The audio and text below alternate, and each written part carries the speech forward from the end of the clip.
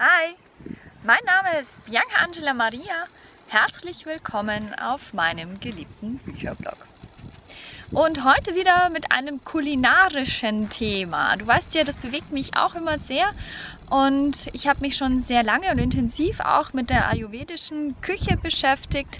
Das Einzige, was mich daran immer so ein bisschen zurückgehalten hat, waren eben viele, viele Zutaten, die in unseren Breitengraden eher wenig zu erreichen sind oder schwer zu bekommen sind. Und ähm, irgendwie hat mir noch so ein bisschen was gefehlt. Und das habe ich gefunden. Hier. so schmeckt Glück von Volker Mehl und ich kann dir sagen, meine ayurvedische Heimatküche ist ein absoluter Knaller.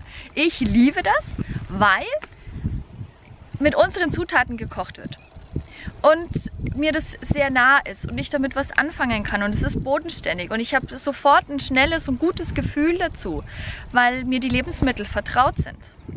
Ähm, es sind einfache Sachen wie das Gericht Himmel und Hölle mit Kartoffel und Apfel in Kombination ist einfach fantastisch lecker. Und so ein kurzer Umriss, wie die ayurvedische Lehre Gesundheitslehre aufgebaut ist, aber sehr locker und sehr leicht.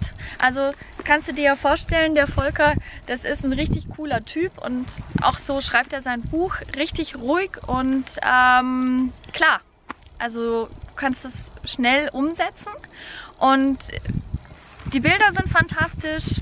Ähm, er würzt es auch noch mit sehr viel persönlicher Note, was ich mag, was ich in dem Fall wirklich sehr mag, weil es authentisch ist und weil es gelebt ist. Ich habe das schon mehrfach verschenkt auch, weil ich absolut überzeugt bin von diesem Buch und ich hoffe, da kommt bald noch mehr.